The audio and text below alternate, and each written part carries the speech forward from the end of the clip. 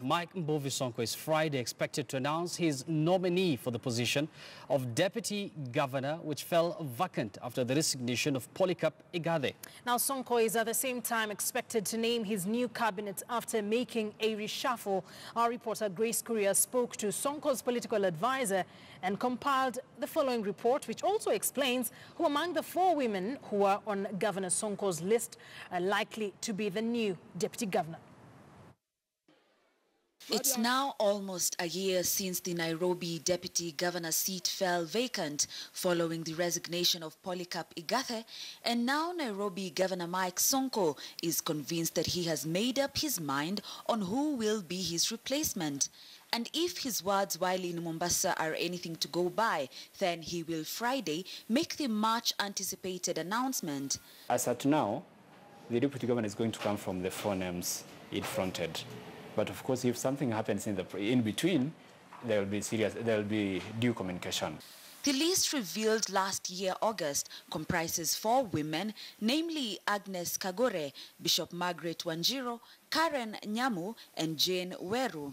However, insiders tell KTN News that the most likely candidate among the four to replace Igathe will be Karen Nyamu, who sought to vie for the Nairobi woman representative seat but lost to Rachel Shebesh during the Jubilee nomination exercise in 2017. There are only three people there. Exactly. However, a political analyst claim that tomorrow's nominee will most likely not be Governor Sonko's preferred choice. Jubilee as a party will have a lot of impact, a lot of say whom they feel will protect the interests. It is not more about delivery. Because if you ask me, uh, one of those are not, uh, they're, they're simply politicians. The governor is also expected Friday to announce major changes in his cabinet. Of course, there'll be new uh, names uh, to be, you know, incorporated into the cabinet, and uh, the focus is on competence people who can deliver for Nairobians. I want us to understand that the governor is not looking for people who can please him or make him feel good or something like that.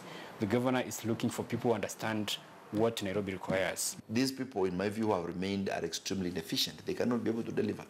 And that tells you that the county government of Nairobi cannot deliver on its mandate if we go by the number that exists in that particular level. Maybe he might consider lifting the suspensions. For a while now, Governor Sonko's leadership style has been questioned by many, with political analysts claiming he has failed, especially when it comes to implementing policies. Sonko really needs to think, if at all is able to do that, on his approach in terms of real policy, real management.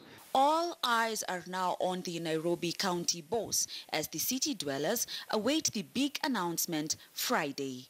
Grace Kuria, KTN News.